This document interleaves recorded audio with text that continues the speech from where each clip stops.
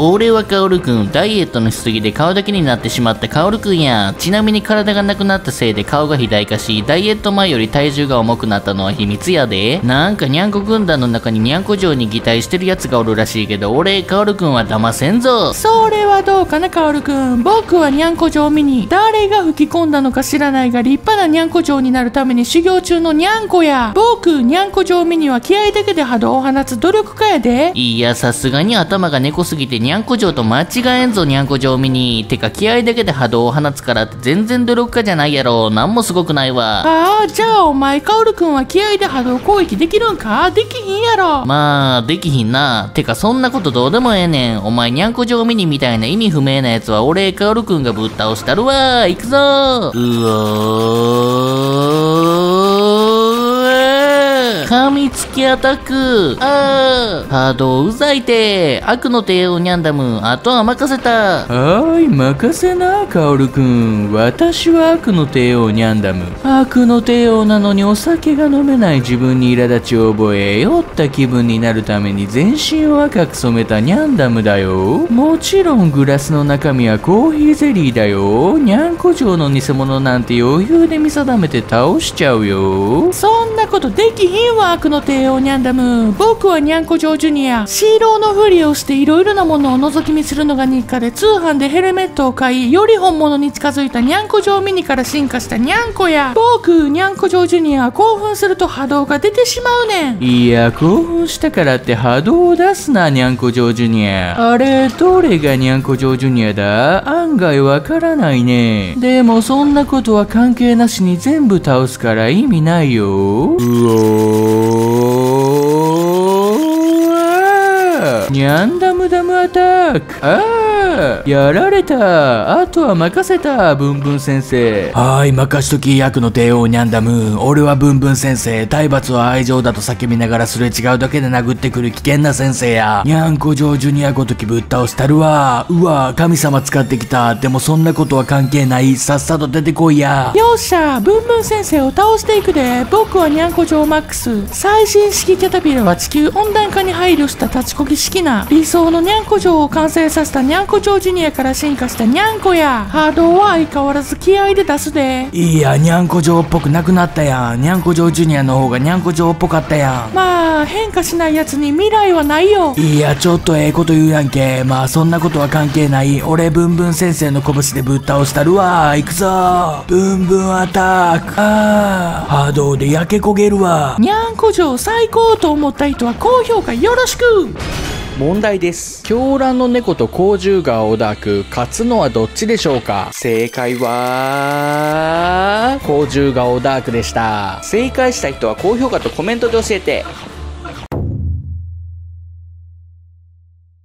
はい、猫と飼い主です。今回はレッドサイクロンがボスの進撃の赤うずきキムズを攻略していきたいねんけど、レッドサイクロンを倒せる強いキャラおらんかな？はーい、私に任せて、猫と飼い主。おお、今のは金英帝空ガンマか。そうだよ、金英帝空ガンマだよ。私、金英帝の空ガンマは、女の子扱いされると顔から火が出る熱血ギャル。照れ隠しで振り下ろされるメガトン如意棒は超強力で赤い敵と黒い敵に滅法強い能力があるの。この能力があればレッドサイクロンなんて余裕で倒せるわ。めちゃくちゃいいやん、金英帝空ガンマ。じゃあ編成に入れるからレッドサイクロンを倒してくれ。ほな次誰入れようかな。何言ってるの猫と飼い主。私、金英帝の空ガンマだけで倒せるんだから。行くぞいや、めっちゃ勝手に行くやん。よし早速私金英帝の空ガンマがレッドサイクロンがボスの進撃の赤渦激ムズを一種で倒していくわよこのステージはほとんど赤い敵で構成されてるから私金英帝の空ガンマはこのステージを無双できるの。レッドサイクロンもすぐ倒してあげるから早く出てきなさい。言われんでも出てくるわ金英帝の空ガンマ俺はレッドサイクロン動きを止めたり押し返す手段があればなんとか攻略できるかもしれない。赤いサイクロンや。お前金英帝空ガンマは俺レッドサイクロンを妨害する能力ないから絶対勝たれへんぞ。やられたうんやっぱ妨害能力ないとダメだね。いや分かってたんかい。レッドサイクロン倒すには妨害必要なん知ってたんかい。ねえ猫と飼い主。私金英帝の空ガンマのおすすめのキャラがいるから編成に入れていい？おお全然いいよ。やった。じゃああの最強キャラを入れちゃおう。頼んだよ桃太郎。はい、任しとき、禁煙艇の空ガンマ。ン。桃太郎一緒にレッドサイクロンを倒すの手伝って。もちろんや、禁煙艇の空ガンマ。ン。ほな、行くぞ。よしじゃあ早速私金英帝の空ガンマと桃太郎でレッドサイクロンがボスの進撃のカウズ激ムズを攻略していくわよ僕は桃太郎、自分より強いやつを探し求め旅をする日本一を目指す桃尻にゃんこや。僕、桃太郎は天使と赤い敵の動きをたまに止める能力がある。この能力でレッドサイクロンを永久停止してやるわ。やれるもんならやってみろよ桃太郎俺レッドサイクロンは最強キャラお前ごときの動きを止める能力に負けへんぞいや思いっきり永久停止されたねんけどどないすんねん。まあそんなこと言ってもしゃあない。いつでも抜け出して全員倒したるわ。いくぞ。あー強すぎ。にゃんこ軍団の勝利だ。問題です。属性を持つ敵に極ダメージを与える能力があるのはどっちでしょうか？正解は、ゴッドガイアでした。正解した人は高評価とコメントで教えて。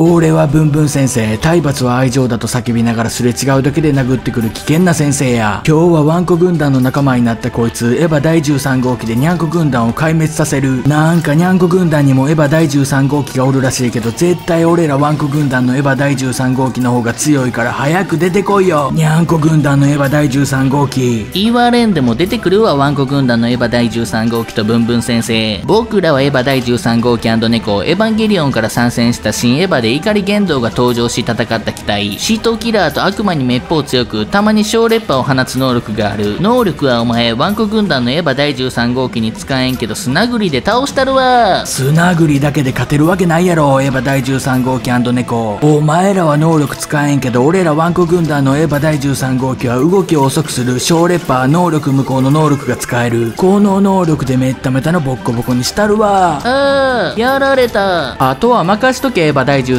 号機猫俺は断命の王ダーク炎不条理な運命の輪を憎しみの力で断ち切る激しい怒りの炎で肺から蘇った幻のニャンコや。お前ワンコ軍団のエヴァ第13号機には俺断命の王ダーク炎の必ず敵の動きを遅くし小烈波を放つ能力は効かんけど烈波無効の能力で攻撃耐えまくってじわじわダメージ与えたるわ。能力なしのお前断命の王ダーク炎なんか全く怖くない。このままガンガン距離詰めて攻撃したるわ。おーい断命のダークフォノ助けに来たぞ僕は麦わらテサラン猫なのか麦わら帽子好きの船長なのか全く正体不明の謎のキャラクターや。僕麦わらテサランは敵一体に対し超絶大ダメージを与えることができる。この一撃必殺でお前ワンコ軍団のエヴァ第13号機を倒したるわ。なめんなよ麦わらテサラン俺らワンコ軍団のエヴァ第13号機は能力だけじゃなくてステータスもエグい数値なんや。俺ブンブン先生とは比べ物にならんレベルやぞ。そんなん分かってるでブンブン先生。ふざけんなよ麦わらテサランこのムカつくニャンコ軍団を倒してくれ。ワンコ軍団のエヴァ第13号機行くぞ。うわ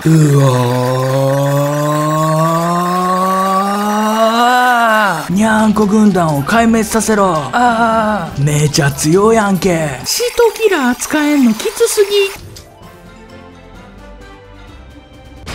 問題です。ブンブン先生とキャットマンダディ勝つのはどっちでしょうか？正解は、ブンブン先生でした。正解した人は高評価とコメントで教えて。俺は狂乱の肝猫、ニャンコ軍団を裏切って狂乱となることで波動をマスターした毒の敵を攻撃できる肝猫や、なんか巨神猫が一番強いキャラみたいな感じになってるけど、狂乱化した俺、狂乱の肝猫が最強やから、それはどうかな狂乱の肝猫。俺は巨神猫、超絶破壊力強靭な体力を備えた最高級のキャラや。多い狂乱の肝猫、お前は確かにニャンコ軍団を裏切って強くなったんかもせえへんけど、今回は巨神猫仲間を連れてきたから余裕で勝てるぞ。なめんなよ巨神猫。お前ら巨神猫が大量に出てきても、俺ら狂乱の肝猫も大量に出てくるし、しかも俺、狂乱の肝猫は波動攻撃も使える。この力でお前ら巨神猫軍団を一掃したるわ。やれるもんならやってみろよ、狂乱の肝猫。お前みたいなガリガリ細々野郎は、俺ら巨神猫軍団がすぐにあの世に送ったるわ。行くぞうおー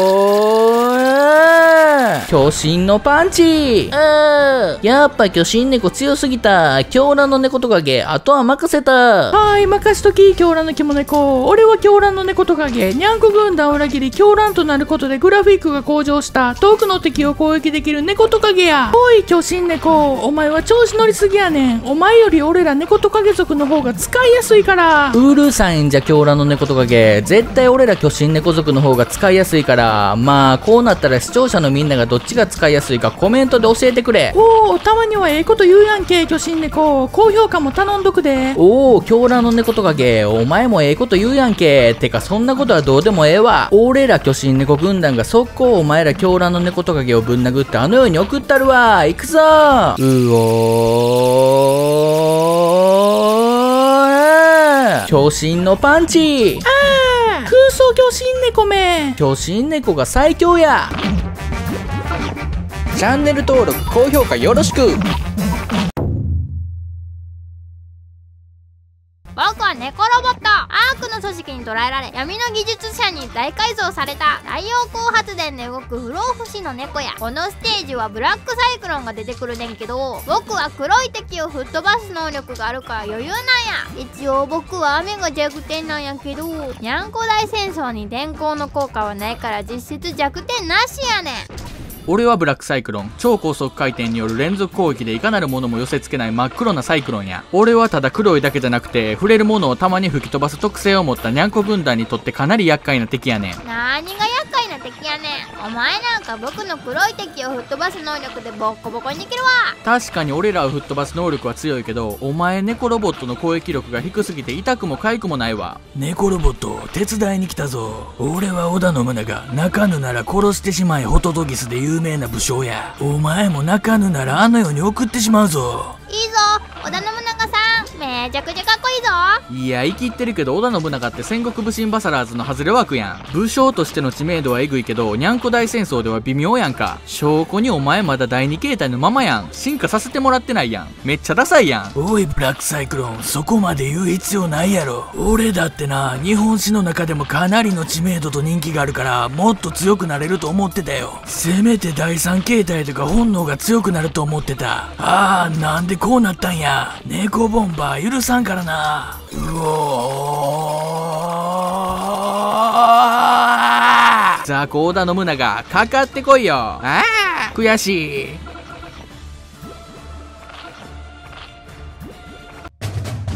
チャンネル登録高評価よろしく。絶対俺、金太郎が先にエンジェルサイクロンを倒すから。いや、絶対俺、鶴の恩返しが先にエンジェルサイクロンを倒すから。行くぞ鶴の恩返し、毎年湖の上で開催される鳥になるコンテストで最長飛行距離を叩き出した驚異のニャンコや。俺、鶴の恩返しは天使と浮いてる敵をたまに吹っ飛ばす能力があるからエンジェルサイクロンは任しとき。調子乗んなやつるの恩返し。俺は金太郎、今日も部下の小熊に担がれ、山稽古に勤しむ。株式会社まさかりに勤めるエリート社員の金ちゃんや。俺、金太郎はたまに天使の動きを遅くし、渾身の一撃を放つ能力がある。絶対鳥野郎の能力より強いから。誰が鳥野郎や金太郎いや、俺、鶴の恩返しは鳥か。いや、猫か。ああ、もうわからん。何言ってんねん、鶴の恩返し。もう何でもええから、エンジェルサイクロンがボスの進撃の天渦激ムズをどっちが早くクリアできるか勝負や。おお、やったるわ行くぞ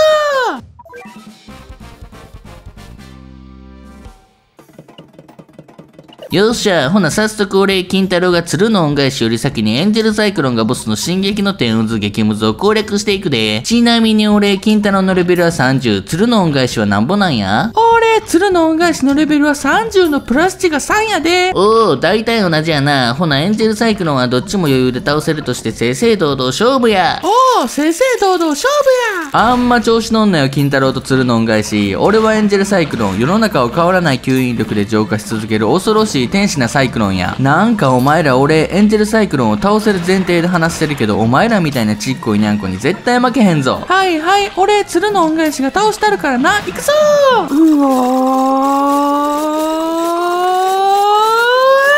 鶴が最強やあー鶴の恩返しやばすぎさっきにエンジェルサイクロンを倒された。でも負けてないぞ、鶴の恩返し。それはどうかな、金太郎。お先に失礼。くそ、やられた。でもエンジェルサイクロンはきちっと倒したるわ。行くぞ。うわー。金ちゃんアタック。あー。金太郎も強い。今回負けた理由は俺、金太郎が遠方範囲攻撃やったことかな。猫と飼い主は、サバカもやっているフラッシュ。チャンネル登録、高評価よろしく。